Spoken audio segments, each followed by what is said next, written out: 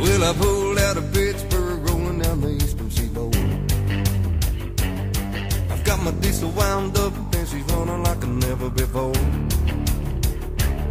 There's a speed zone ahead, but alright.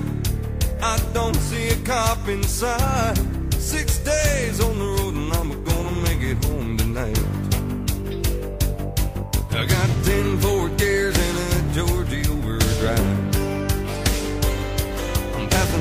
lines and my eyes are roving wide. Just past a Jimmy and a white. I've been passing everything in sight.